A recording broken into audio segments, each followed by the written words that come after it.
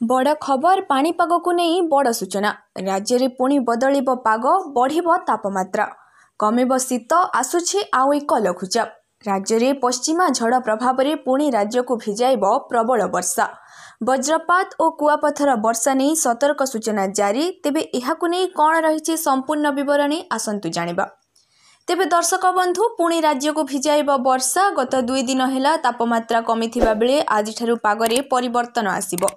ତାପମାତ୍ରା ବଢ଼ିବା ସହ ଶୀତ କମିବ। ସ୍ୱାଭାବିକ ଠାରୁ ତିନିରୁ ଚାରି ଡିଗ୍ରୀ ଯାଏଁ ରାତିର ତାପମାତ୍ରାରେ ବୃଦ୍ଧି ହେବ।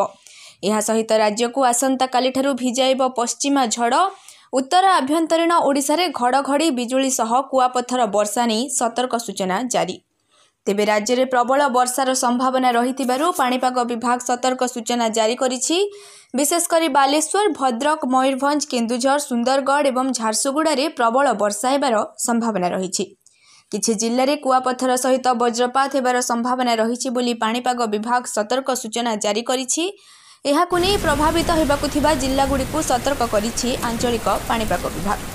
ଚାଷୀ ଭାଇମାନଙ୍କୁ ସତର୍କ ସୂଚନା ସେହିଭଳି ଗତ ଚବିଶ ଘଣ୍ଟାରେ ଉତ୍ତର ଆଭ୍ୟନ୍ତରୀଣ ଓଡ଼ିଶାର ଅଧିକାଂଶ ସ୍ଥାନ ଦକ୍ଷିଣ ଆଭ୍ୟନ୍ତରୀଣ ଓଡ଼ିଶାର କିଛି ସ୍ଥାନରେ ରାତିର ସର୍ବନିମ୍ନ ତାପମାତ୍ରା ସ୍ୱାଭାବିକଠାରୁ କମ୍ ରହିଥିଲା।